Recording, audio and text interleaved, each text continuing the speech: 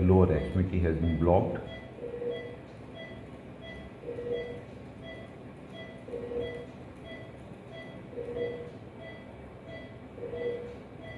Whole of this area. Now from here, so let us see.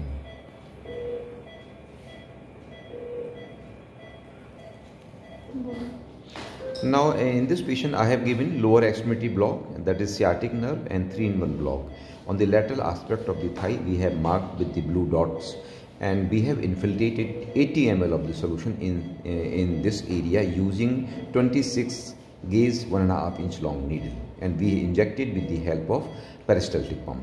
Also, so we will take the graft from this area just to minimize the bleeding and post-operative soakage in this area. This will also act as a post-operative analgesia.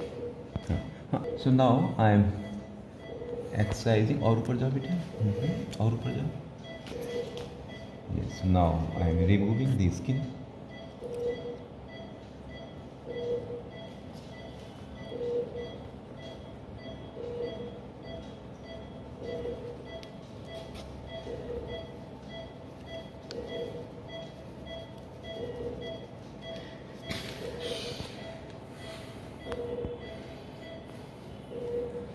No.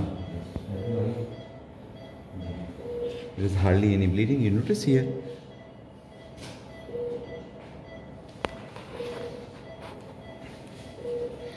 So this is because of uh, tumescent solution which I have applied.